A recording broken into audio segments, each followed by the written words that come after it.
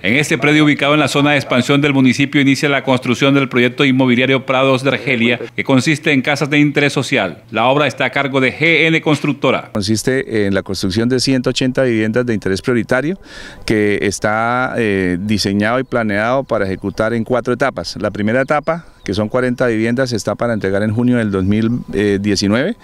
Eh, la segunda etapa eh, son 40 viviendas para entregar en marzo del 2020. La tercera son 36 viviendas y 6 locales comerciales en agosto del, noviembre de ese mismo año y la más grande que es la, etapa 4 está para agosto del 2021 que son 64 viviendas. Todas las viviendas independientemente de la etapa están basadas en el mismo diseño arquitectónico y la misma área. Los constructores inician la primera etapa de este proyecto habitacional que consta de 40 soluciones de vivienda. Mostrar a las personas que ya invirtieron, que de hecho la primera etapa ya está vendida en su totalidad y el 80% de la segunda, que el compromiso de la empresa es eh, hacer todo de acuerdo al cronograma de obra y eh, habíamos hablado de iniciar las obras en el mes de septiembre, en este mes.